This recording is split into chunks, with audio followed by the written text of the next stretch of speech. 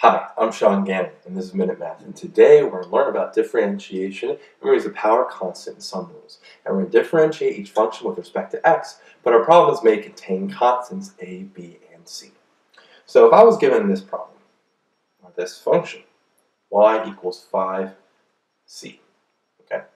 That's 5 times c, which is fine, 5 times c, and I wanted to derive that. Well, the key thing here is to tell us that c is a constant. What constant is it? I don't know, but it has the properties of a constant, some number.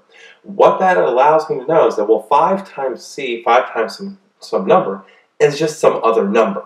Okay, it's still going to be a constant.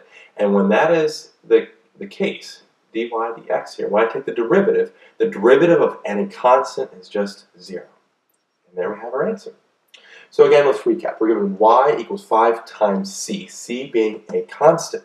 Well, 5 again times a constant, 5 times a constant is 5 times any number, right? Any one set number, not just like a variable that can be anything I plugged in, but it's a set number, some constant. We just don't know what it is.